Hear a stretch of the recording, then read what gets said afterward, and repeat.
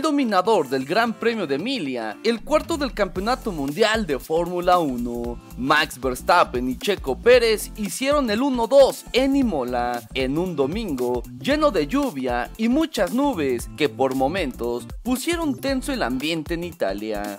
El mexicano Checo Pérez arrancó tercero, pero en la largada logró meterse en el puesto 2, que no volvió a soltar y donde finalizó detrás del neerlandés. El Ferrari de Charles Leclerc siempre estuvo en pique con el RB18 del Tapatío, pero su gran defensa le permitió al piloto tricolor salir avante, agregado que en la vuelta 54 el de Mónaco tuvo un trompo y se vio obligado a ir a los pits. Esto de Leclerc sumó a que Carlos Sainz, el otro Ferrari, tuvo que abandonar en la vuelta número 1. El tercer puesto fue para McLaren de Lando Norris. Por otro lado, Lewis Hamilton sigue con un panorama nada favorable. El británico quedó muy lejos de los primeros lugares.